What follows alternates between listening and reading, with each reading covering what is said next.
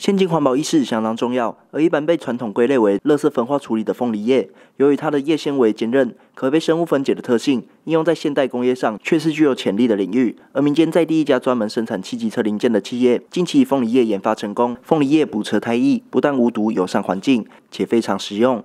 那今年也是我们裕仁工业成立四十三年来第一次在台北国际汽车配件展首次展览。那当然，针对这次展览，我们非常的有信心。因为我们将我们一个全新的一个品牌、全新的一个产品，包括我们的 U 系列补胎片，还有我们的最新型的 GA 补胎液，带到一个全新的一个补胎片的一个市场。我相信透过这次的展览，会让很多世界的厂商看到我们育人工艺的不一样。研发部协理林玉红指出，南投属于凤梨生产大县，凤梨也是民间乡特产之一，本场周围处处可见。而这一次公司研发绿能补胎液计划的动机。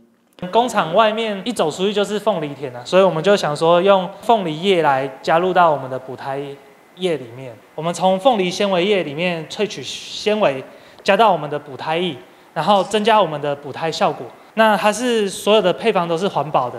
其实很多农业废弃物就是我们最后处理都是用燃烧嘛。那因为我们现在开发的这个产品，我们大概我们出估了一年大概可以消耗掉五十吨的凤梨纤维叶。那就可以减少一些农民就是去燃烧废弃物所造成的污染。县院张婉慈肯定在地企业的用心，将凤梨叶透过加工改良的方式生产出新的产品，就有这样的方式能够有效处理农业废弃物，响应环保。